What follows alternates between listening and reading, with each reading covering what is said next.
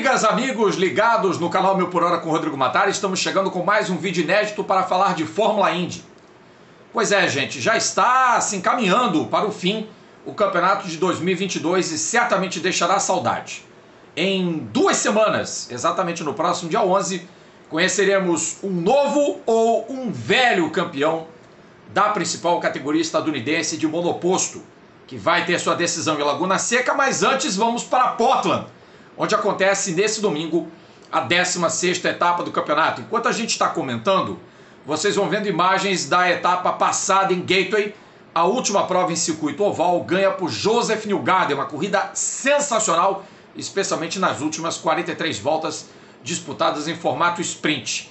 Temporada que vai se encaminhando com sete pilotos ainda na briga pelo título, separados por 58 pontos. A matemática ainda é favorável para que tenhamos esse quadro com muitos pilotos na briga, mas isso pode ser definido contra ou a favor de alguns pilotos nesse fim de semana no Portland International Raceway e daí ela ser uma corrida fundamental para as pretensões de três pilotos, especialmente Pato Ward, Scott McLaughlin e do atual campeão Alex Palou, que tem que diminuir a diferença para até 54 pontos, no máximo sob pena de perder completamente qualquer um dos três as, as suas chances de título na temporada 2022 da Fórmula Indy. Então, nesse momento, pela matemática apresentada, claro que Pato e Scott McLaughlin são os pilotos em pior condição em relação aos seus adversários, mas nada indica que não possam estar na luta pelo campeonato, pelo menos até a última prova,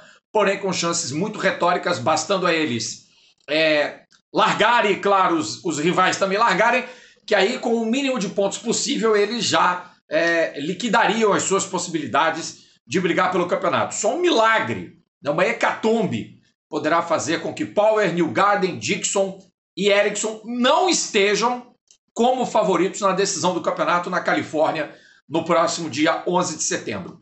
Com diferenças de 43 pontos em relação a Power, 54 e 58, respectivamente, Palou, McLaughlin e Pato Ward têm que fazer o melhor resultado possível e torcer para um desastre completo dos quatro adversários na corrida de Oregon no próximo fim de semana. E pode acontecer. É, é uma pista que tem características bem peculiares, uma reta muito larga e muito longa para uma frenagem muito difícil. Então, a primeira chicane pode ser uma, um palco, um convite há uma porradaria que poderá atrapalhar é, qualquer um dos sete pilotos aí, ou qualquer outro dos pilotos, é, haver uma colisão entre um piloto outsider e um desses pilotos que está aqui na briga. Tudo isso pode acontecer na corrida desse domingo. O panorama é o seguinte: o Paul lidera com três pontos de vantagem para o Joseph Newgarden, 14 para o Scott Dixon, 17 para o Marcus Ericsson, que são os quatro pilotos mais próximos, num confronto Penske versus Ganassi que é o que pode acontecer. A lógica prevalecendo, a final do campeonato em Laguna Seca nos deve apresentar um confronto direto entre Penske e Ganassi mais uma vez, com, sei lá, mais um ou outro piloto de uma dessas duas equipes e o Pato, que seria o solitário representante da McLaren, que é o representante solitário da McLaren na matemática do título, correndo por fora. No retrospecto de vitórias, o Joseph Newgarden, dentre todos esses sete, é o piloto com mais triunfos, tem cinco no total. A Penske venceu 8 de 15 corridas, mais de 50% de aproveitamento.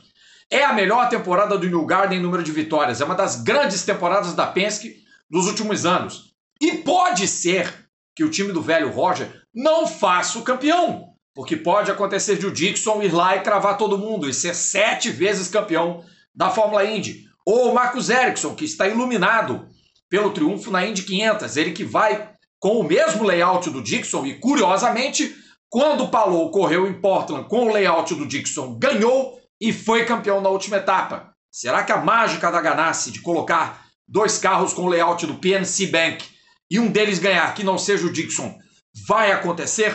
Vamos ver. Tudo é possível. Até o Palou ser campeão sem vitórias. Pode acontecer. É pouco provável, mas pode acontecer. E são coisas que só a Indy está proporcionando, que só as categorias americanas proporcionam. É, não vemos, não vimos nesses últimos anos tanto equilíbrio entre é, três ou mais participantes, por exemplo, na Fórmula 1. Na Fórmula 1 é uma polarização entre pilotos de duas escuderias. E nesse ano é claro que o Max Verstappen está com muito mais possibilidades de levar o bicampeonato consecutivo com larga antecedência em relação aos seus rivais. É fato que não aconteceu em 21, quando a disputa foi para a última etapa em Abu Dhabi, naquele anticlímax é, sensacional da corrida de asa marina e polêmico até hoje. Na Fórmula Indy, a matemática ainda oferece um, um, um âmbito de amplitude entre esses sete pilotos que estão na batalha, Power, Newgarden, Dixon, Ericsson, Palou, mais McLaughlin e Pato, mas é lógico que pela conta, pela lógica, pode ser que um, dois ou três desses sete sejam carta fora do baralho. Pela lógica, seriam Palou, McLaughlin e Pato, mas o automobilismo às vezes não tem lógica. Muito embora a gente veja que o New Garden tem uma campanha excepcional, repito, nada garante que o piloto do Team Penske vai emplacar mais um campeonato.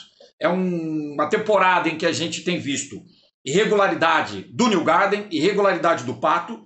É, o McLaughlin tem um abandono, o Palou não teve nenhum, mas também não tem um ano de brilho. O Ericsson teve raríssimos momentos ruins, teve apenas um abandono, se não me engano. E a vitória na Indy 500 é, é a vitória que um piloto pode conquistar e deu pontos em dobro. Se não desse pontos em dobro, talvez o Ericsson não estivesse na batalha pelo campeonato, ou estivesse, mas numa situação inferior.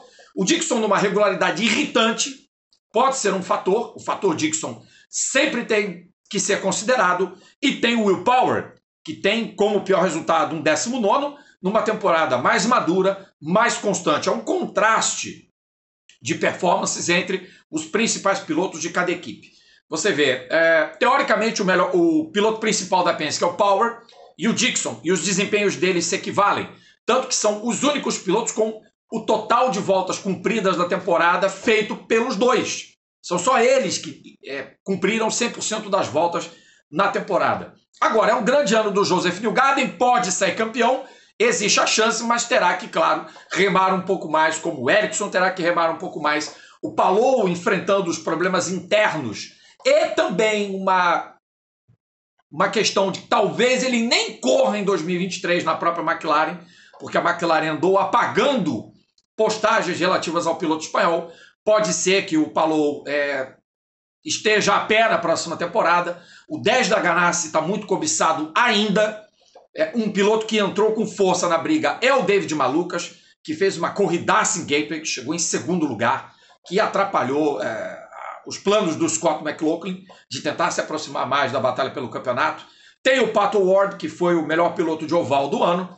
Você tem o próprio Big Mac, o neozelandês. Olha, é um, um prato cheio para a gente ter aí um final de temporada daqueles na Fórmula Indy nessa temporada 2022. Se eu fosse você, eu ligava na TV Cultura no domingo, 4 da tarde, para acompanhar com o Jefferson Kelly, com esse que vos fala, a penúltima etapa do campeonato. Eu garanto que vocês não vão se arrepender. Vai ser uma grande prova e a gente vai ver quem desses sete irão para a decisão do campeonato em Laguna Seca. Será que teremos os sete? Será que vai ser uma decisão a seis, que seria sensacional? A cinco, igualmente sensacional? Ou reduzida a quatro, três pilotos? Porque a matemática está aí. Pode acontecer de uma hecatombe tirar a grande maioria desses sete nomes que têm um único objetivo: ganhar a Astor Challenge, ganhar a Astor Cup e ser o campeão da temporada 2022 da Fórmula Indy.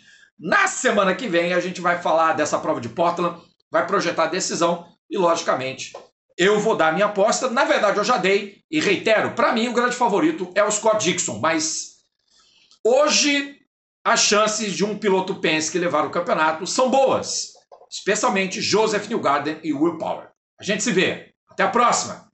E se liga, TV Cultura ao vivo, 4 da tarde, também no site. Você pode acompanhar com Jefferson Kern comigo o GP de Portland, 16 e penúltima etapa da temporada 2022. Já está deixando saudade esse campeonato da Fórmula Indy. Valeu!